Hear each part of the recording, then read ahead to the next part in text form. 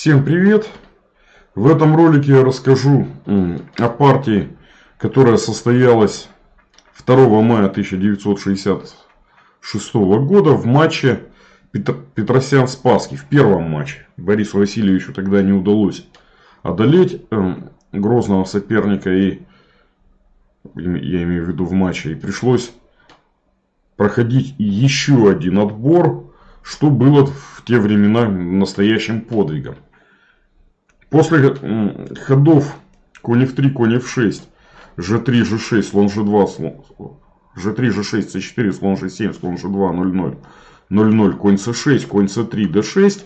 Позиция из английского начала после хода d4 перешла в систему э, староиндийской защиты, в которой белые фианкетируют слона на g2.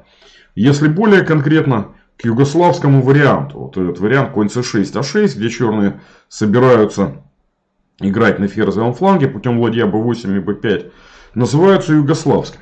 Аврух в своей книжке рекомендует ход ферзь d3.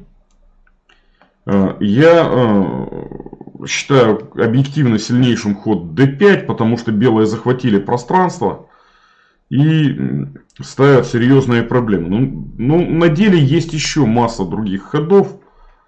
H3, слон E3, слон F4. То есть э, выбор у белых достаточно богатый. Ход D5 просто он напрашивается. Дело в том, что коню плохо уходить на край доски, там на b8 это потеря двух темпов. На a7 он рискует точно так же, как из поля А5 не войти в игру. Размен на е, коней на Е5 выгоден белым, потому что убивается слон G7. После коня 5, конь d2, конь на краю, все время рискует под, попасть под ход b4. И хотя кроме хода c5, э, по-моему, не проигрывает ход c6, то есть, но выглядит это, это продолжение, ну, как минимум, странным, потому что все время нависает угроза над лошадью. После c5 ферзь c2 э, Борис Васильевич сыграл e5. Основными ходами являются продолжение ладья b8, ну или слон d7 с идеей провести b5 как можно быстрее. У хода e5 есть, э, на мой взгляд, существенный недостаток. После а3 всерьез пограживает b4. То есть, например, не годится ферзь c7, потому что после b4 cb, а b конь бьет c4, у белых имеется сильный удар конь b5. И после, скажем, ферзь b6, конь бьет c4, ферзь бьет b5. Еще один мощный удар ладья a5. Белые отыгрывают пешку на d6, потому что невозможно ферзь d7 из-за вилки конь b6. Ну и получают э, существенный перевес за счет мощной проходной в центре. Ну и такой очень активной позиции фигур. То есть ход, если черные играют b6, то после b4 конь b7, все-таки конь черных на b7 э, является такой фигурой, которая э, в бой тоже быстро войти не может. И задача белых потихонечку подготовить игру на королевском фланге. То есть вообще на самом деле в, это, вот, э, в, в, в этих линиях белым нужно сдерживать противника на ферзевом и стремиться создать атаку на королевском. Кстати, забегая вперед, скажу, что у, у Петросяна получилось именно э, э, сделать то, что требуется в этой позиции от белых. Хотя, на мой взгляд, играл он не лучшим образом, но э, это компьютерно не лучшим образом. По-человечески игра абсолютно понятна. b3 укрепил пешку c4 и борется за центр. После f5 кажется, что черная сильнейшая сторона на королевском фланге. Ну и действительно, игра черных здесь вполне неплоха. e, gf. Брать на f5 белые должны, иначе после f4 белым дадут мат на королевском фланге. А э, на ферзевом у них контр-игры нет. При этом конь a5 черным для создания атаки на короля может и не, при... и не потребоваться. Поэтому ЕФ выглядит самым разумным решением, особенно в свете того, что белым нужно задуматься о том, как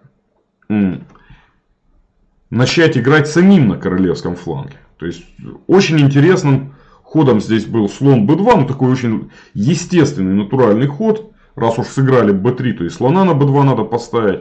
С дальнейшим, ну вот примерно таким продолжением. Белые хотят где-то прогнать коня с g4, хлопнуть f4 по центру. Конь d1 идет либо на e3, либо на d3. И концентрация белых фигур на королевском фланге может оказаться очень неприятной для черных. В партии последовало немедленное конь d1. И после b5, f3 э, черные сумели провести e4, в связи с чем у них образовался э, великолепный конь на e5. То есть ужасный конь на a5 и великолепный конь на e5. В свете того, что в лагере белых еще несколько ослаблены белые поля и черное, то есть ослаблено положение короля. Позиция черных кажется ну просто существенно лучшей. И после ЖФ Борис Васильевич э, решил найти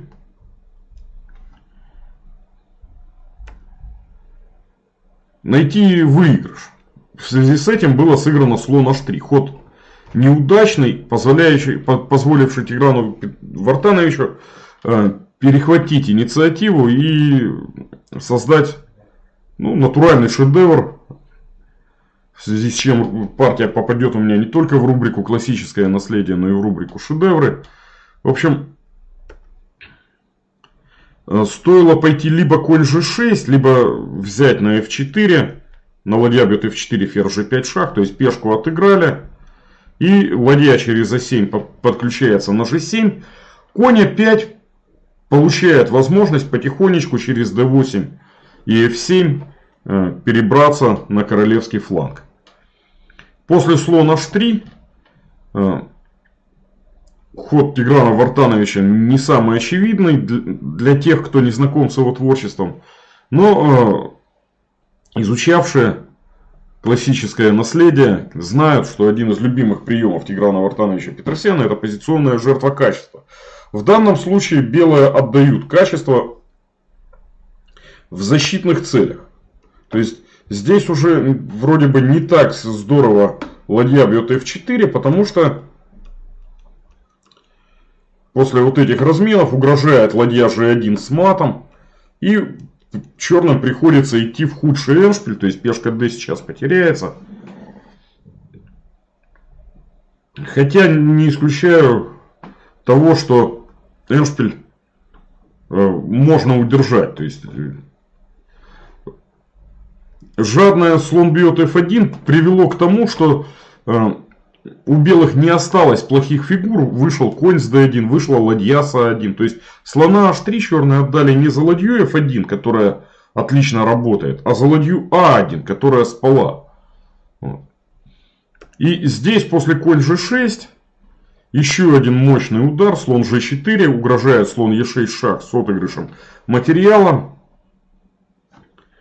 Проигрывает теперь ладья, э, ладья бьет f4. И после ферзь h8 белые матуют ферзь g7 и ферзь f7 мат. А, стоило сделать форточку королю h6. И хотя у белых мощный слон на e6, конь опять по-прежнему спит. А, шансы черных отбить, ну, нейтрализовать инициативу белых остаются. Также интересно было попытаться разменять ферзей. То есть Хотя э, у белых очень мощная позиция, качество ну, уже 100% надо отдавать, висит на d6. Но тем не менее, тоже шансы на защиту сохраняются. В партии последовало еще э, последовал более такой натуральный ход. Черные забрали пешку f4, пригрозили ходом ферзь g5, прикрыли пункт e6 конем, и на мгновение может показаться, что э, инициатива белых легко нейтрализуется, ферзь выходит на g5, ладья через a7 идет на g7. Конь опять давит на пешку c4, а в дальнейшем через d8 и f7 попадет на e5. Но на деле это не так. Еще один удар, еще одна жертва качества э, ради того, чтобы активизировать все свои оставшиеся фигуры. В связи с тем, что конь e5 спит, по сути у белых сейчас три фигуры и ферзь борются с ладьей и ферзем черных. То есть у них три фигуры за ладью. При этом черный король в опасности. На король f8 последует ферзь h8 и что там, несмотря на то, что немедленного мата не видно, ясно, что спасти эту позицию черные не в силах. Потому что на король f8 ферзь h6, на король e8 ферзь g6, ферзь g5. Приходится выдвигаться королем в центр. Ну и здесь я не знаю, можно и конь f3 даже пойти, наверное. А, и, ну, конь f3 с угрозой ферзь f7 мат или ферзь h6 выглядит очень неплохо. Ну и ферзь h6 немедленная, наверное, позволяет заатаковать.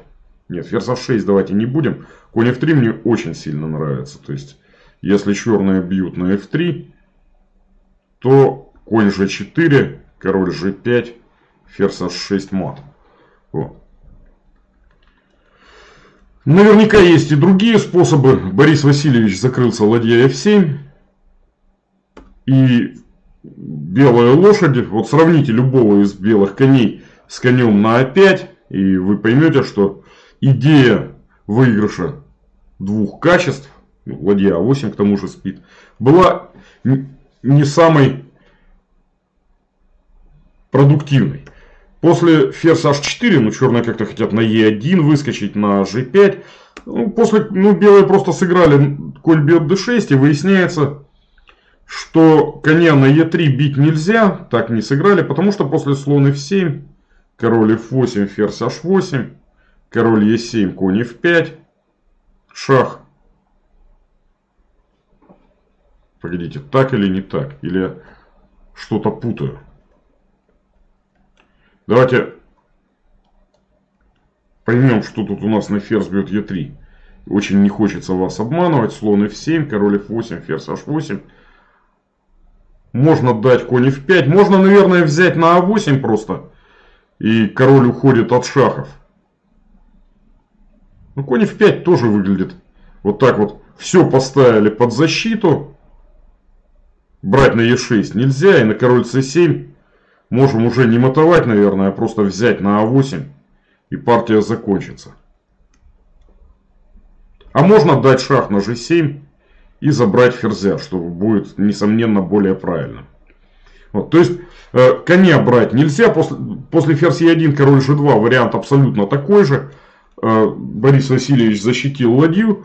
И э, Тигран Вартанович симпатичной парой ударов э, с лихвой отыграл пожертвование. Итак, вер, вернул назад первое качество. И нанес такой удар шашечный. Шашечная тема. То есть черные сдались ввиду того, что после взятия ферзя конь бьет f7 вилка, конь бьет g5, и у белых остается лишний конь. При этом опять конь так и остался вне игры. Несмотря на то, что в дебюте есть вопросы э, к игре Тиграна Вартановича, ну и Бориса Васильевича, э, в целом партия очень наглядно иллюстрирует идеи обеих сторон. И, на мой взгляд, э, вполне заслуженно является шедевром шахматной культуры мировой. Все, спасибо за внимание, подписывайтесь на мой канал, лайки, дизлайки и так далее.